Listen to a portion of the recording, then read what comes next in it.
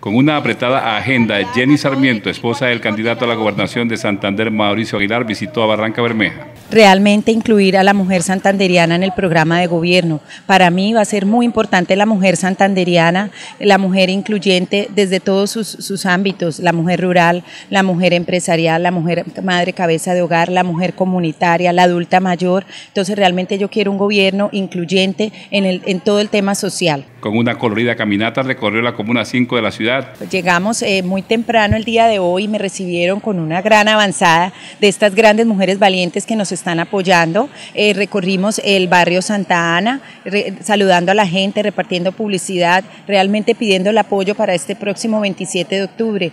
Además de eso tuvimos un encuentro con candidatas al Consejo y a a la Asamblea, una muestra empresarial que estamos aquí en el Hotel Pipatón, al frente del Hotel Pipatón. Se reunió con diferentes candidatas al Consejo, asistió a una muestra empresarial de mujeres valientes y lideró un taller de empoderamiento femenino. Súper contenta con mi gente, también apoyando a nuestro próximo gobernador. Con la bendición de Dios, así va a ser. Con las mujeres de Barranca Mauricio va a llegar a la gobernación, tiene un programa de gobierno hermoso para estas mujeres barranqueñas, tiene un programa de gobierno donde habla de la mujer, de una mujer integral, habla de la familia. Claramente Mauricio es la mejor opción que tenemos acá los santanderianos porque sabemos que la familia Aguilar se ha caracterizado por dejar obras en el departamento.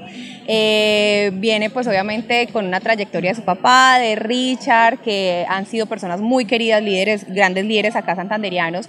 Mauricio va a implementar en, su programa de gobierno muchos proyectos para la mujer, donde Jenny eh, está liderando. Jenny ha sido una gran compañera de vida y, y este proyecto para Mauricio. La acompañaron Silvia Becerra, ex señorita Santander, y Andrea Blanco, líder del Comité de Mujeres de la campaña Aguilar Gobernador.